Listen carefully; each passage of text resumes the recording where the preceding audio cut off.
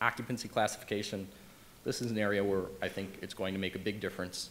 Uh, Chicago today speaks a very different language. Um, many of us are used to it, uh, but I think there's a little bit more logic and a little more user friendliness to the IBC's classification system. So in the chapter, um, pretty simple organization, starts out with some general provisions, uh, then some provisions about how you classify things. The specific provisions for A through U are in section 303 to 311, um, and then the miscellaneous leftover occupancies are at the end in section 312.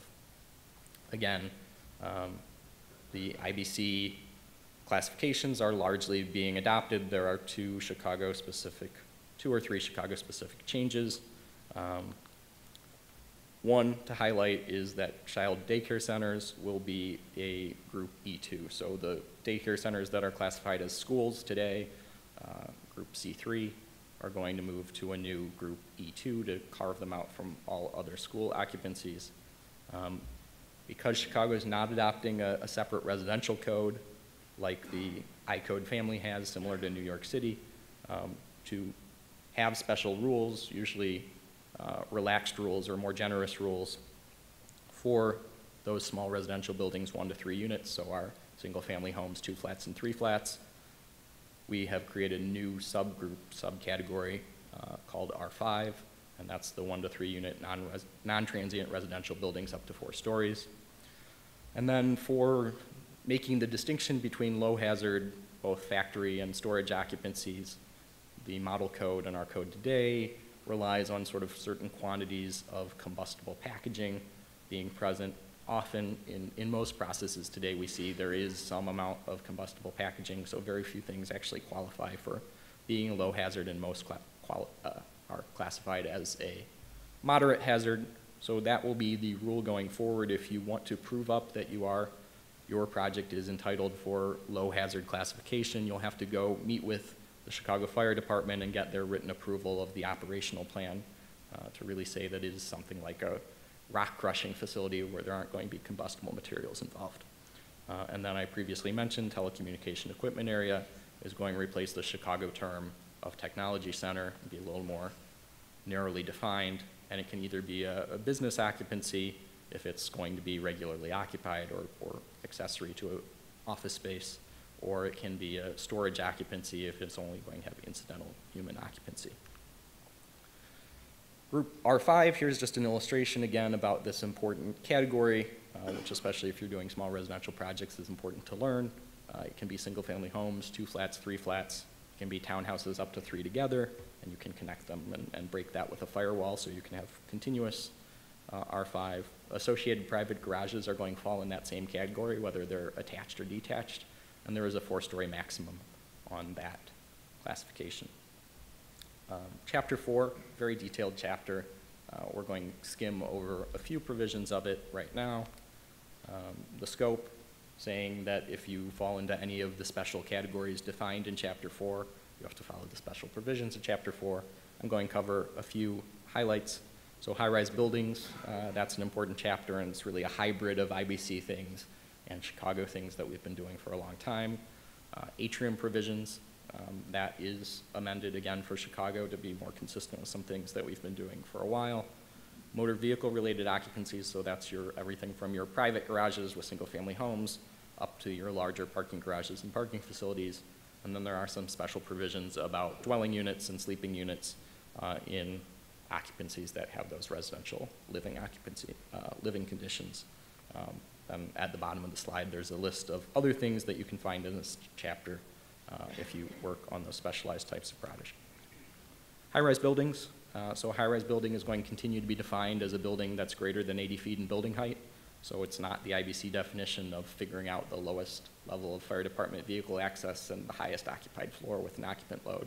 It's going to be a, the simpler way of measuring that we've done for a long time in Chicago. Um, the two source water supply as today, is going to continue to be re required at 300 feet.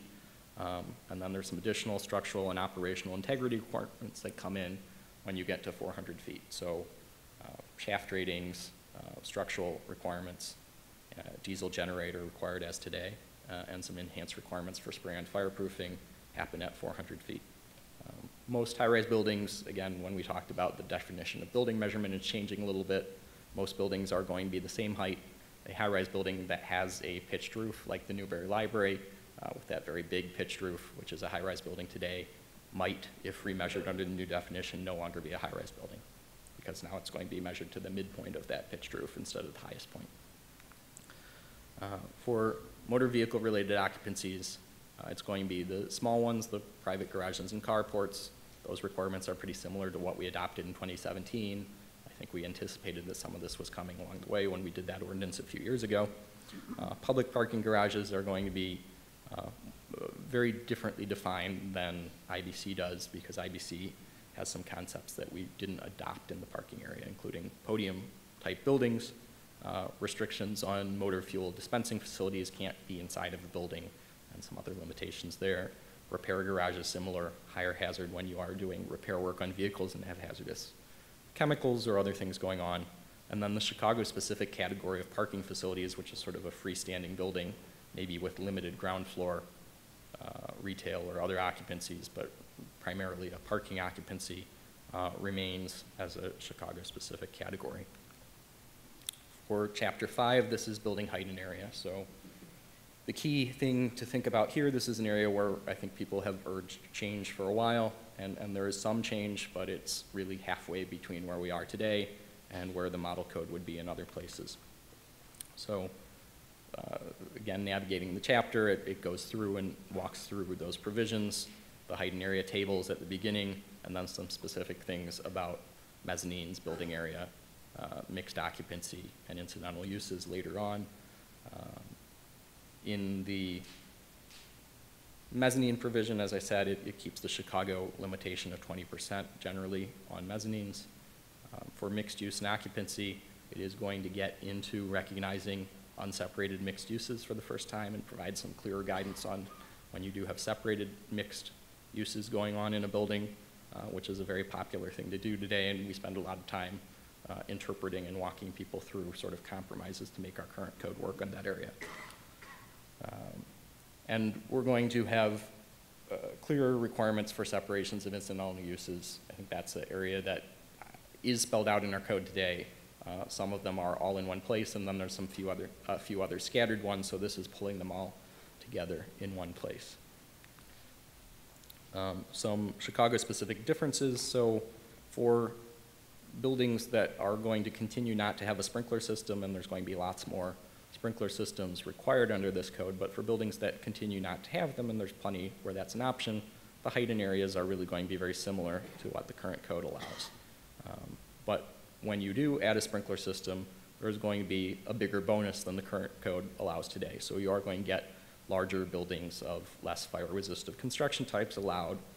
Um, There's going to be, the, the frontage increase provision in the model code is less generous than the current code for frontage, uh, but again, there is the more generous bonus for sprinkler systems. And Chicago is going to, of course, allow you to build a podium-type building where the first level is a more fire-resistive construction type with less fire-resistive construction above. But there's not going to be any credit for that like in the IBC. So there really isn't going to be a concept of building a wood frame building starting two or three stories off the ground. Um, Here's an example uh, illustration. I think it's a good illustration.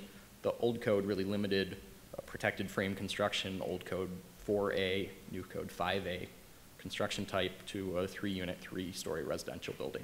And you really couldn't get mixed occupancies in there, you couldn't do other things. Uh, The new code is going to be a little more generous. It's going to, with a sprinkler system, you can get up to a- a fairly good size four-story mixed use uh, with a sprinkler system. Uh, Non-residential uses on lower floors, whether that's mercantile, business, uh, parking. Uh, It may require fire retardant treated wood for the exterior walls, depending on the distance to the property line. That's a Chicago amendment that we'll get to a little later on. Uh, In types of construction, so again, this is moving towards speaking the national language, so we don't have the confusion that we have today about what is uh, type 3C construction, what is type 1C construction. I've never heard of that. I get that a lot from, from people other places, uh, so we are moving to speaking the same language as the rest of the country on construction type classification with a few minor Chicago differences, but much more minor than today. Um, So here's a chart that roughly shows the correspondence between our current classifications and the new classifications. Uh, Starting at the top, really, R1A is very, very strict in terms of fire resistance. It goes a little overboard, I think, uh, compared to other standards out there and the latest in fire science. So the R1A today is a little bit less than IBC 1A, so that's why that arrow is falling somewhere in the middle between IBC 1A and 1B. 1B is, is roughly the same between the two codes. Um, Chicago 1C is now 2A. Um, Chicago 2 is 2B. Uh, and then the threes, there's some switching around there because 3A Chicago becomes type 4 heavy timber. Um, and at the bottom of the chart, IBC type 5B, sort of unprotected frame construction, uh, whatever material you want, and no fire resistance rating, um, really doesn't have an equivalent except with some exceptions in Chicago.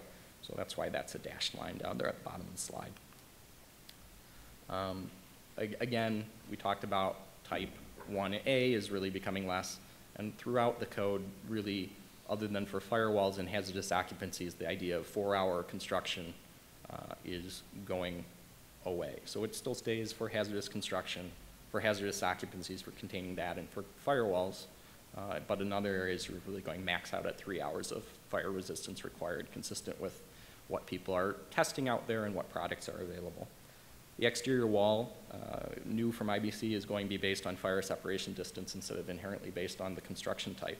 Uh, It's still going to have to rely on the construction type if the exterior walls are load-bearing, um, but that is going to be a change um, from what we're used to doing today. And then there is a clearer list of permitted combustible materials in non-combustible construction, and also a recognition that that same list applies to the exterior walls of type 3 and 4 construction. Um, Chicago-specific things we did to mitigate between the transition between our code today and the new code, uh, recognizing that we've long recognized a 30-minute roof construction in residential buildings. Um, That will continue to be recognized for residential buildings up to four stories, um, less, less restrictive than the IBC in that area. Um, Table 602, that's the uh, Fire separation distance-based ratings is modified a little bit for urban conditions, so there's some conditions where you can be a little bit closer um, and less restrictive, uh, consistent with our code today. Chicago doesn't require, it will not, in the new code, recognize fire retardant treated wood in exterior walls of type 3 and 4 construction. So in non-combustible exterior walls, uh, we're not going to recognize fire retardant treated wood in those in the same way that the IBC would. That's the biggest difference, I think, in this chapter. Um, But Chicago will recognize fire retardant treated wood in frame construction, allowing you to build frame construction closer to lot line than we've ever allowed it before. Uh, So you will be allowed to be up to the lot line, closer than three feet to the lot line, uh, if that exterior wall of your type five building is built with fire retardant treated wood framing, and then a exterior cladding that's a non-combustible material. So that's note J in table 602, if you want to read more about that, which I think is an exciting change for a lot of people.